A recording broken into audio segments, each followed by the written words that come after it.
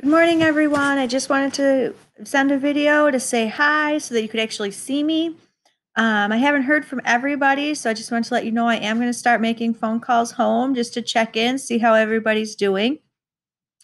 Um, that number will come up as a Sanchez call.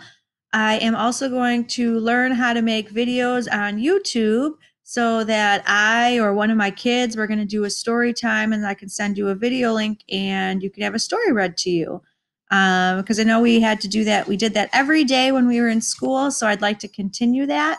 I hope everyone is staying home and staying safe. I hope that you are reading and doing math every day. I hope you are working on the packets that we are creating for you guys. Um, we work very hard giving you guys different activities and things to do that we think you can do at home, either online or on paper, so that you keep learning in this time when we're at home. That's super important to try and learn something new every day and to get outside and play so that you're staying active and getting your energy out, shaking those wiggles out, not just sitting and playing video games all day. I hope you are all being super listeners to your parents and following the rules and being helpers around the house.